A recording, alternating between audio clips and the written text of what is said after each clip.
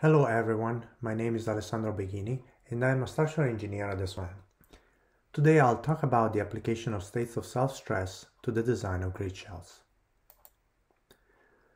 In this paper we explore two ways to design states of self-stress, either a direct linear combination of states of self-stress or designing the Airy stress function to combine states of self-stress. We will show applications for each approach. The first approach we consider for designing grid shell is to specify the horizontal component of the axial force in the grid shell members directly in the two-dimensional projection of the grid shell. The projected horizontal forces have to be in equilibrium. The possible forces in the two-dimensional projection can be viewed as a combination of linearly independent states of self-stress. As an example, we consider the possible forms for a roof covering a train station in Chicago, USA, the desired roof structuring plan is shown here and it is intended to be a grid shell, which would resist a uniform gravity load with only axial forces in its members. The roof form is supported at the corners on columns which would not provide significant lateral stiffness, so the geometry of the roof was chosen in a way to ensure that, under gravity load, there are no horizontal support reactions. The two-dimensional grid chosen consisted of mostly quadrilateral panels, as shown here, the four corners of the grid were selected as the support locations.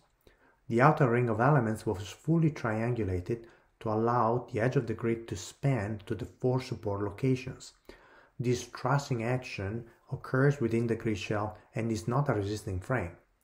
We can observe here that the Maxwell-Calladine count gives m minus s equal to negative 17, which implies five fully symmetric states of self-stress.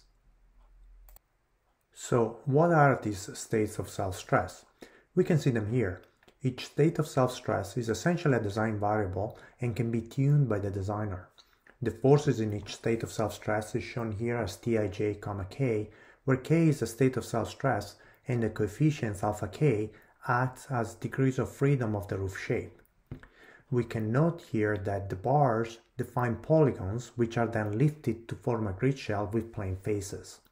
The three-dimensional form is derived using the force density method with force densities calculated from the forces in the members.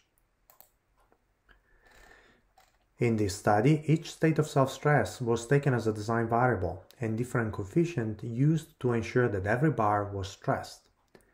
From here, the force density method can be used to find a wide range of funicular grid shells, as shown here. Note that the perimeter edge is not planar, and that many of the quads are warped, which can cause construction and cost complications. Some of these geometries are obviously not practical, but demonstrate the versatility of the approach. A more elegant approach is to design the state of self-stress through the use of an Airy stress function. The Airy stress function is one of many stress functions used in the analysis of solids. The Airy stress function, here called as phi, describes the stresses in the continuum through the second derivatives. This stress function can be extended to consider a discrete Airy stress function in which all the forces are focused along the folds of a polyhedron. A force diagram in the graphic static sense can be constructed from a discrete Airy stress function with a reciprocal relationship. The discrete Airy stress function is a lift of the form diagram. Each linearly independent lift provides an Airy stress function and an independent state of self-stress. The Airy stress function approach was used in the design of a very large canopy roof covering a number of low-rise podium structures for a project in China. The picture on the right shows a rendering of the project. The design intent for the canopy was to provide shelter from the elements for pedestrians.